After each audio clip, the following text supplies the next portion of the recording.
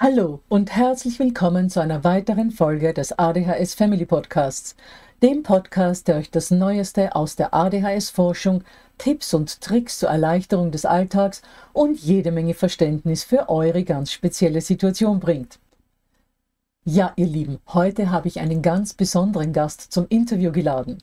Mein heutiger Gesprächspartner ist Primar Dr. Ralf Gößler, Leiter der Kinder- und Jugendpsychiatrie und psychotherapeutischen Medizin in einem der größten Krankenhäuser Wiens. Er ist Facharzt für Psychiatrie, Neurologie und Kinder- und Jugendpsychiatrie, ist außerdem Psychotherapeut und begleitet Familien mit ADHS seit über 20 Jahren. Prima Gößler und ich werden uns heute über die Rolle der Medikamente im Therapiemix bei Kindern für ADHS und ADS unterhalten. Mir war es wichtig, euch hier einmal eine Expertenmeinung aus medizinischer Sicht zukommen zu lassen. Und zwar mit einem Experten, von dem ich durch die persönliche Zusammenarbeit weiß, dass er um das Wohl der Kinder und der Familien extrem bemüht ist und die Situation der jeweiligen Familie, die er betreut, immer sehr individuell betrachtet. Und genauso sollte es ja auch sein.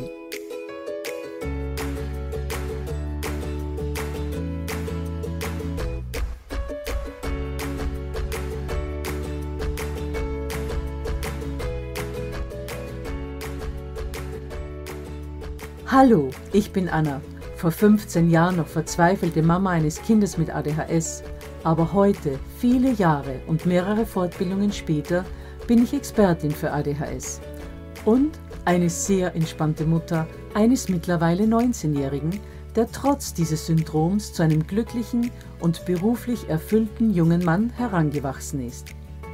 Ich möchte euch mit diesem Podcast genau dort zur Seite stehen, wo auch ich vor vielen Jahren Hilfe gebraucht hätte.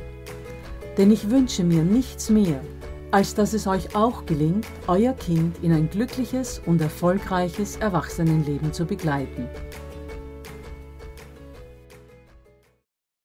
Bevor es aber nun ins Gespräch mit Prima Gößler geht, habe ich noch zwei Ankündigungen für euch. Gleich zur ersten. Viele werden ja wissen, dass in der vergangenen Woche ein Webinar stattgefunden hat, und zwar zum Thema Stressfrei durch Alltag und Homeschooling. Davon kann man seit gestern die Aufzeichnung ansehen, und zwar unter www.adhshilfe.net slash Webinaraufzeichnung. Wer also gerne bei diesem Webinar dabei gewesen wäre und es verpasst hat, oder nur bei Teilen davon dabei sein konnte, kann sich bis zum 26. April die Aufzeichnung ansehen. Hier nochmals die Adresse für euch, das ist www.adhshilfe.net slash Webinaraufzeichnung. Ich verlinke dazu auch in den Show Notes. Und für diejenigen, die sich denken, ach, zum Thema Homeschooling, da weiß ich eigentlich in der Zwischenzeit gut Bescheid, beziehungsweise da gibt es bei meinem Kind und bei mir eigentlich kein Problem, lasst euch gesagt sein, dass ganz vieles in diesem Webinar auch nicht die Homeschooling-Situation, sondern überhaupt das tägliche Miteinander betrifft. Und das Zweite, das ich euch noch sagen wollte, Dr. Gößler und ich hatten während des Interviews einige kleinere Empfangsprobleme, die an der einen oder anderen Stelle eine Silbe verschluckt haben, aber das tut dem Inhalt keinen Abbruch. Gut, dann lasse ich euch nicht länger warten, tauchen wir in die Episode ein. Ja, lieber Ralf, dann darf ich dich herzlich willkommen heißen zum heutigen Podcast. Herzlichen Dank, dass du dir die Zeit nimmst, hier heute dabei zu sein. Und ich würde dich mal bitten, dich vorzustellen, in welcher Funktion du heute hier bist. Vielen Dank mal für die Einladung. Mein Name ist Ralf Gößler. Ich bin Facharzt für Psychiatrie und Neurologie und Kinder- und Jugendpsychiatrie. Bin auch Psychotherapeut, leite eine Kinder- und Jugendpsychiatrische Abteilung im Krankenhaus Floridsdorf. Das ist das neue Spital über der Donau. Du bist ja auch noch äh, Vorsitzender der, des Vereins ADAPT, der Arbeitsgruppe zur Förderung von Personen mit ADHS. Und dann auch noch im Vorstand der Österreichischen Gesellschaft für Kinder- und Jugendpsychiatrie, wenn ich das ergänzend hinzufügen darf. Ja, sehr gerne. Das sind Funktionen, die sind ein gefallen, aber ich fühle sie gerne aus äh, und ist mir auch eine Ehre natürlich. Okay, wunderbar. Gut, Ralf, dann darf ich dir die erste Frage stellen, ähm, wie du die Reaktion der meisten Eltern erlebst, denen du vorschlägst, also Eltern von Kindern und Jugendlichen mit ADHS, denen du vorschlägst, dass Medikamente auch Teil im Behandlungsmix sein sollten, wenn du sie für notwendig empfindest. Wie reagieren da die meisten Eltern drauf? Äh, das ist sehr unterschiedlich. Äh, es kommt einerseits auf den Leidensdruck an, der bereits besteht durch äh, eine ADHS-Symptomatik, die vielleicht sehr viele Schwierigkeiten bereits macht, vor allem in der Schule oder auch zu Hause. Äh, und es kommt natürlich darauf an, äh, inwiefern die Eltern einerseits sich selbst schon Infos aus dem Internet oder von Freunden und so weiter besorgt haben und das Wichtigste, welche Einstellung sie generell zu Medikamenten haben und vor allem auch zu Psychopharmaka haben. Äh, und hier wissen wir ja, äh, sind die Einstellungen sehr unterschiedlich. Ähm, das ist interessant, weil du das jetzt gesagt hast. Erlebst du Eltern, die ähm, Medikamenten gegenüber jetzt nicht so offen sind, also die so eher auf der, sage jetzt einmal, Naturheilkunde-Welle unterwegs sind? Erlebst du die eher doch vorsichtig und verschlossen? Ich meine, das jetzt herausgehört zu haben. Also würde ich jetzt so nicht unterstreichen. Also ich glaube, Wichtig ist, die Eltern dort abzuholen, wo sie stehen.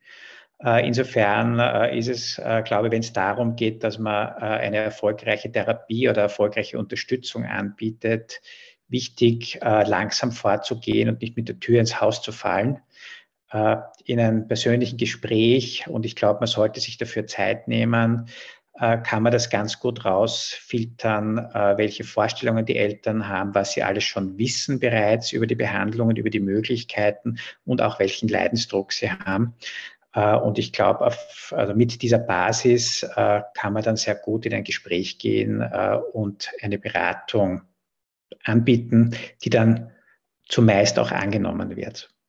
Okay, super. Das heißt, es kommt auch wahrscheinlich sehr viel auf das Feingefühl des Behandelnden an und ähm, ob er die Eltern dort auch wirklich abholen kann, wo sie gerade wissensmäßig und auch, ich sage jetzt mal, mit ihrem Herzen stehen, ähm, wie offen sie für alles sind, beziehungsweise wie sehr der Arzt dann das, das Herz der Eltern da öffnen kann, das, ob jetzt führt Medikamente oder eine andere Behandlungsmethode, das, wird, das ist ja dann, das wissen wir ja, von Fall zu Fall unterschiedlich. Ja, sag mal, was bereitet denn den die größten Ängste im Hinblick auf Medikamente deiner Erfahrung nach? Was, was, was hörst du da so in deinem Berufsalltag? Naja, es ist generell so, dass Psychopharmaka und kindliches Gehirn oder jugendliches Gehirn, äh, das dann sozusagen unter Einfluss dieser Medikamente stehen soll, äh, das ist natürlich oder wird generell kritisch gesehen. Ja, wenn ich mir das vorstellen würde für mein eigenes Kind, ein Experte empfiehlt mir Psychopharmaka für mein Kind, würde ich wahrscheinlich auch vorsichtig sein äh, und doch im Sinne der besorgten Eltern äh, viele, viele Informationen äh, einholen wollen, vielleicht auch eine Überle Überlegungsphase tätigen wollen oder mich mit einem anderen Experten besprechen wollen. Das heißt, insofern äh, ist das verständlich, dass Eltern sehr, sehr vorsichtig sind. Sie wollen das Beste für ihr Kind. Sie wollen einerseits natürlich Behandlung, Unterstützung, äh, aber sie wollen natürlich auch eine Kosten- Nutzen, Risikoabwägung, was ja auch verständlich ist. Das wollen wir auch als Experten. Insofern glaube ich, muss man den Eltern Zeit geben. Äh, und wie gesagt, ich glaube, ein übertriebener Ehrgeiz, den Eltern was einreden zu wollen oder sie überzeugen zu wollen und sie stehen nicht hundertprozentig dahinter, das ist hier vollkommen fehl am Platz. Ja, gut, das ist richtig. Das kann ich vollkommen nach, nachvollziehen, weil äh, du kannst als, als Mama und Papa äh, dein Kind nur so begleiten, wie du es vor dir selbst verantworten mhm. kannst. Und äh, da wird es eben auch, ja, da kommen so viele Parameter an, unter anderem natürlich auch auf deinen eigenen Wissensstand als, als Mutter oder Vater. Mhm. Ähm, ich meine, man hört ja in den Medien immer wieder, ähm, dass die Medikamente äh, für Kinder mit ADHS, ähm, was Gott was für Nebenwirkungen haben, dass sie süchtig machen ähm, können. Oder es wird ja fast, fast schon behauptet, dass das so sei. Ähm, was ist an diesen Aussagen dran? Gut, es ist, äh, also in den Medien hört man sehr viel und es gibt ja im Internet natürlich unterschiedlichste Meinungen und Einstellungen von Verteufelung äh, der Medikation bis hin zu Lobgesängen Und ich denke, eine seriöse Aufklärung, die eben fachlicher und eine empirische, einen empirischen Hintergrund beinhalten sollte, das ist das Allervernünftigste.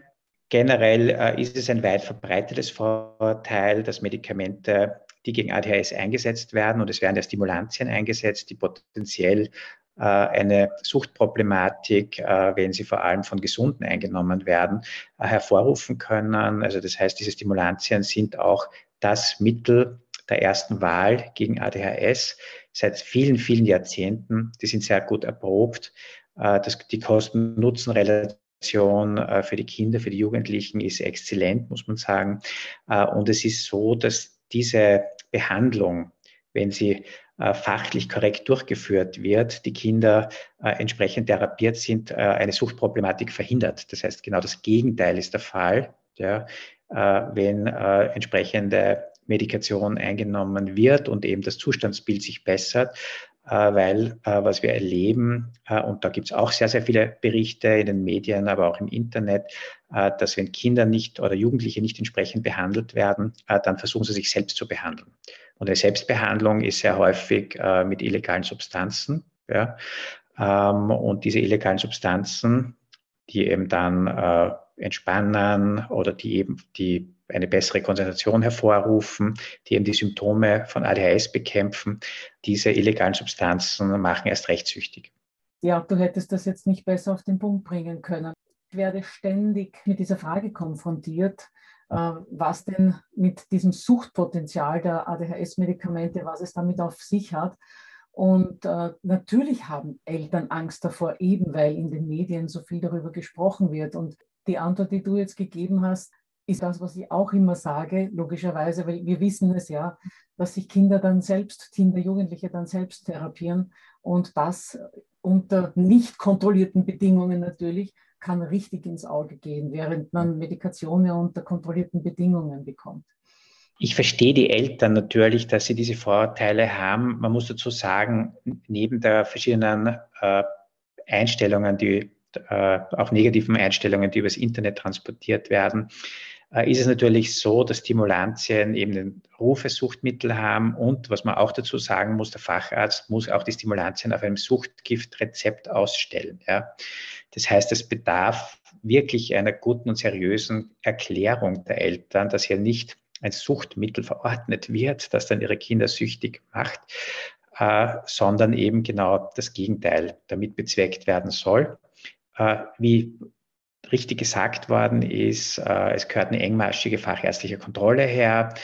Ähm, es äh, äh, gehört die Aufklärung her, wie ich eben bereits gesagt habe, und es gehört schon auch Monitor ein, ein Monitoring äh, von verschiedenen Laborparametern. Also man sollte ab und zu eine Blutabnahme machen, EKG und Blutdruck kontrollieren.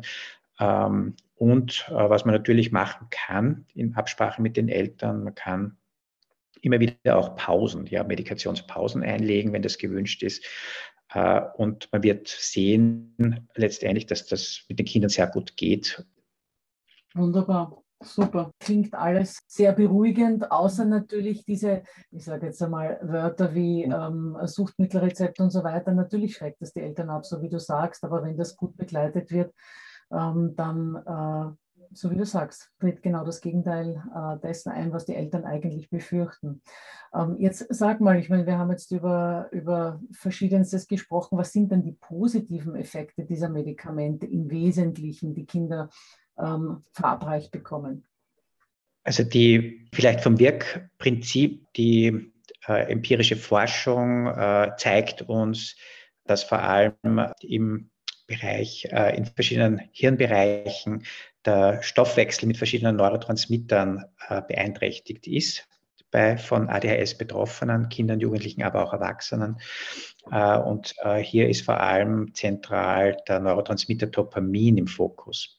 Und zwar zeigen alle Daten, dass es zu einer Unterversorgung von Dopamin kommt in bestimmten Hirnarealen und die Medikamente, Stimulantien, aber auch andere Medikamente. Es gibt ja einige wenige Nicht-Stimulantien, aber sie machen in Wirklichkeit unterm Strich alle dasselbe. Äh, sie steigern äh, den Dopaminstoffwechsel beziehungsweise die Wirkung von Dopamin und äh, es kommt dadurch relativ blitzartig die Medikamente. Das ist vielleicht ein nicht zu unterschätzender Vorteil. Die Wirkung der Medikamente setzt sehr rasch ein und man kann sehr rasch evaluieren, wirken sie, spricht mein Kind an äh, oder wirken sie nicht. Und durch diese äh, Normalisierung des Dopaminstoffwechsels verschwinden auch die Kernsymptome von ADHS oder sie bessern sich massiv. Das betrifft vor allem eben diese Aufmerksamkeitsproblematik, die Impulsivität, aber auch die motorische Unruhe, wie wir sie bei den Kindern finden.